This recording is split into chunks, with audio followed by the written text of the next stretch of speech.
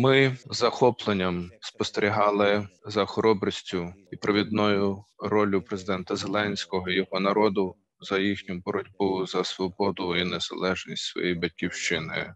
Ваша хоробрість, ваша стійкість і бажання захищати свій народ заслуговує нашого захоплення і підтримки. Для нас велика честь, що президент Зеленський до нас сьогодні звернеться до парламенту Фінляндії, незважаючи на ту війну, яка йде в вашій країні. Ми вітаємо вас, пане президенте. Дякую. Дуже дякую. Для мене це велика честь. Шановний пане спікере, шановний пане президенте, шановна пані прем'єр-міністр, члени уряду, шановні депутати Едусконти, шановний пане федеральний президент Німеччини, шановна голова федеральних зборів Швейцарії, народи Фінляндії. Я почну з того, що відбулося сьогодні вранці. Російські військові ударили по вокзалу в нашому місті Краматорськ, по звичайному залізничному вокзалу, по звичайним людям. Військових там не було. Люди, які чекали потягів, щоб виїхати на безпечну територію, ударили ракетами по людям. Є свідки, є відео, є залишки ракет. Людей немає. Не менше 30 загиблих, близько 300 поранених. Це на цей час. Ще раз, це простий залізничний вокзал, просте місто на сході нашої держави. Ось так Росія прийшла захищати Донбас. Ось так Росія прийшла захищати російськомовних людей. Ось так ми живемо вже 44-й день. Після восьми років війни на сході нашої країни. Я прошу вас вшанувати мовчанням пам'ять усіх українців, українок, убитих російськими військовими, російськими ракетами, російськими бомбами. Дякую.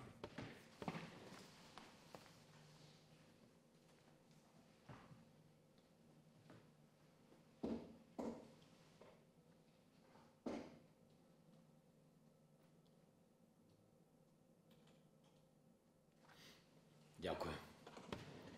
Росія кинула на захоплення України усі боєздатні сили своєї армії з усієї їхньої території аж до далекого сходу. Але навіть і їх не вистачило. Тому Росія збирає якомога більше взагалі будь-яких людей, які здатні тримати в руках зброю, щоб продовжити агресію проти України.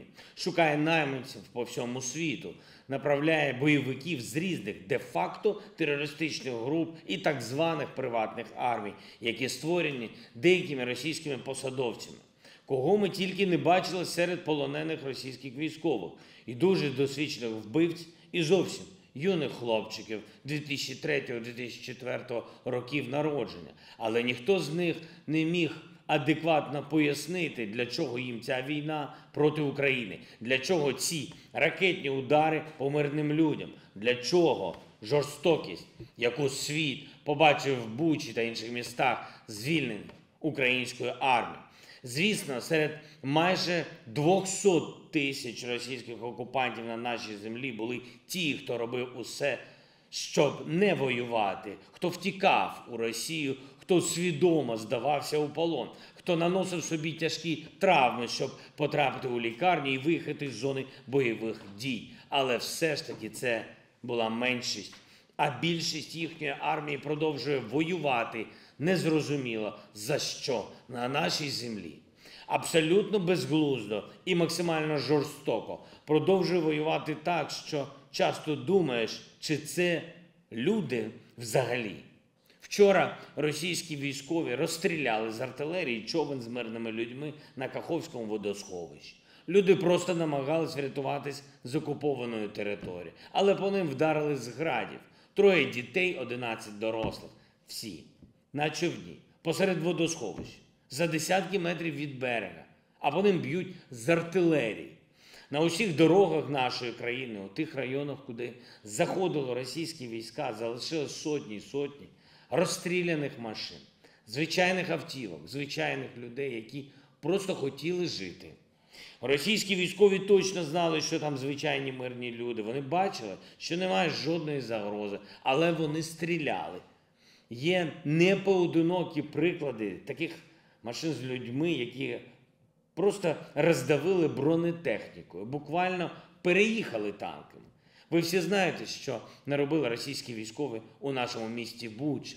Але вони роблять такі бучі щоденно і досі від Краматорська до Маріуполя, від Харкова до Херсона. І я впевнений, ви усвідомлюєте, якщо російська армія отримає наказ вдертися на вашу землю, вони зроблять те саме і з вашою країною. Я вам цього не бажаю.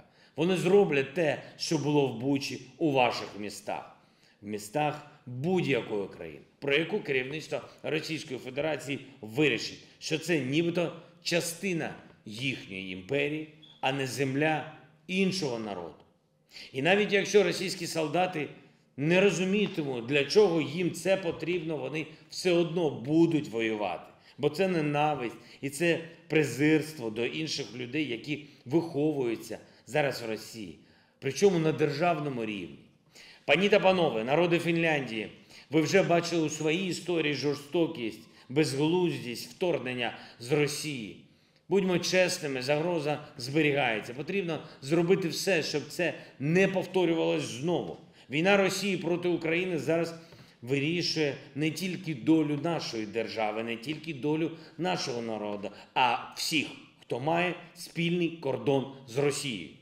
Як і ви, 83 роки тому Україна має сміливість захищатись проти такого ворога, чиї сили значно переважають. Їх просто дуже багато у кількісному вираженні. У них дуже багато техніки і дуже багато ракет, багато людей, яких можна кинути на війну, і багато нафтодоларів, нафтоєвро, які витрачаються на пропаганду агресії. Але як і ваша сміливість врятувала вашу державу від сталінської навали, так і наша сміливість протистоїть цьому вторгненню. Протистоїть вже 44 дні. Але ще потрібно зробити багато для перемоги. Звісно, на відміну від ситуації перед Другою світовою війною, зараз демократичний світ зрозумів, що не можна заплющувати очі на експансію тиранії. Якщо народ бореться за свободу, треба його підтримати. Але, на жаль, це розуміння є більшою мірою у народів, ніж у деяких дуже впливових політиків у невеликих держав, ніж у деяких держав-лідерів. Нам досі доводиться щоденно переконувати сильних світу цього, що необхідні такі санкції проти Росії. Саме такі, які вона не зможе обійти, які точно зупинять її військову машину. Нам досі доводиться просити про необхідну допомогу, про необхідну зброю. І нам досі відповідають, що ми ще повинні почекати літаки, почекати протиракетні системи, танки, протикорабельну зброю. Нам кажуть, що ми повинні чекати, коли ми щоденно втрачаємо сотні людей, людей від російських ударів, коли десятки наших міст зруйновані.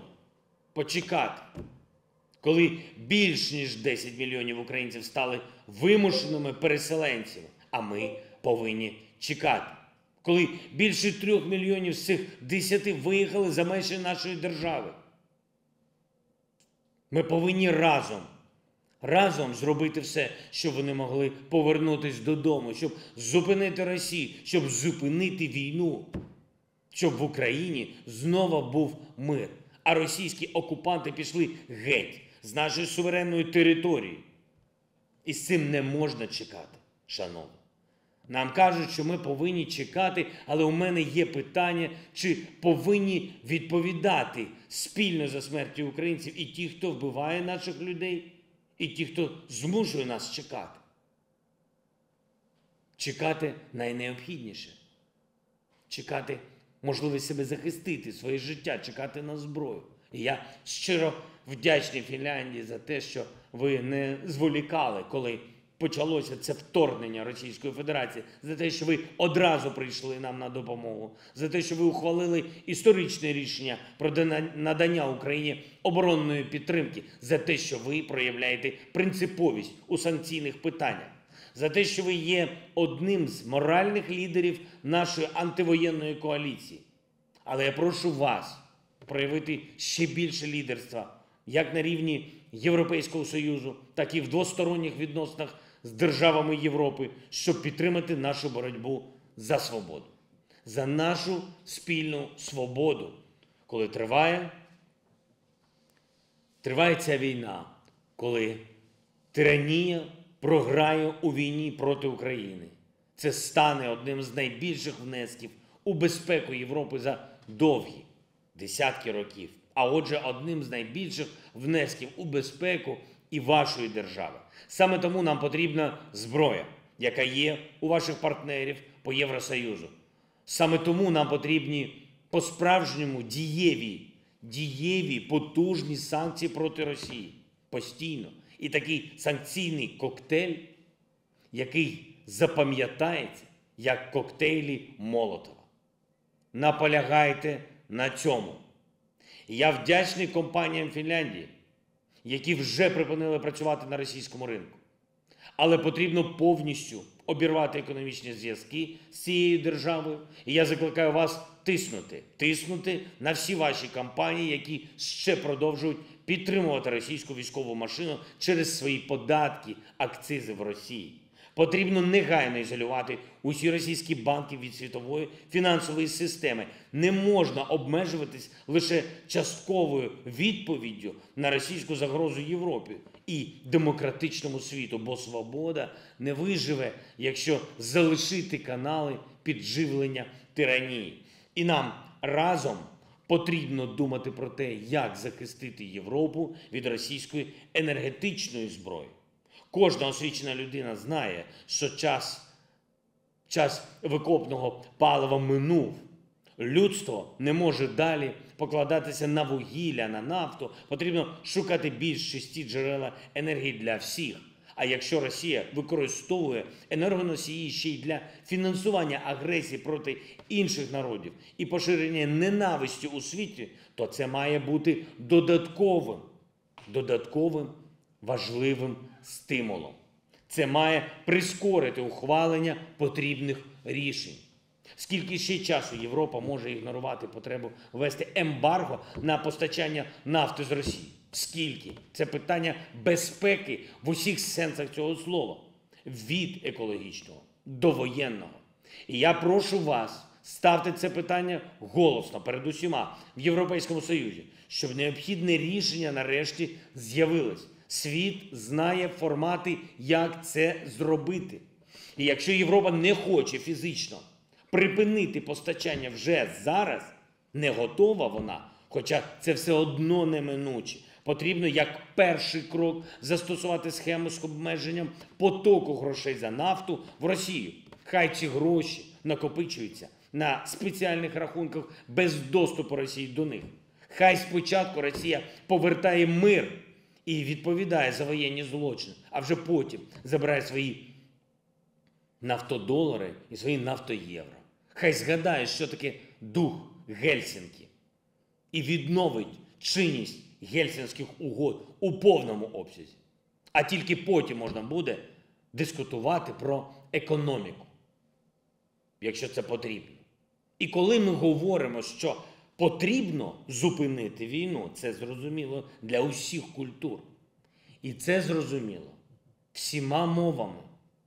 Коли я говорю це українською, мені здається, що немає тих, хто цього не розуміє.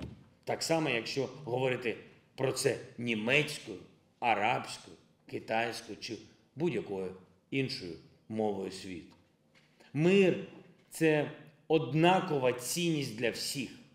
Війна це однакове зло для всіх. Пані та панове, народи Фінляндії, я вірю, що здоровий глузд все ж таки переможе. Я впевнений, що разом ми зможемо захистити свободу і захистити Україну. І тому вже зараз нам потрібно думати про те, як відбудувати нашу державу після цієї війни.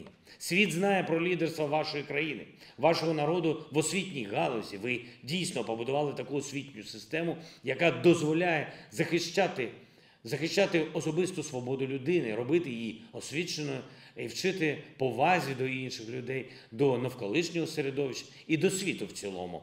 Цьому варто навчатись і іншим державам. І за півтора місяці російського вторгнення в Україні вже зруйновано або пошкоджено 928 освітніх об'єктів. Це дитячі садочки, це школи, це університети. Я запрошую вашу державу, ваші компанії, ваших спеціалістів приєднатися до відбудови нашої освітньої галузі і до модернізації освіти в Україні. Ми маємо зробити все, щоб навіть після цієї наджорстокої війни проти нашого народу у наших людей і надалі виховувалось добро у серцях, і щоб вони були відкриті світу. І я в це вірю. Бо ненависть має програти, свобода має перемогти спочатку в Україні, а далі всюди, де тиранія ще спробує підняти голову. Дякую, Фінляндії. Слава Україні!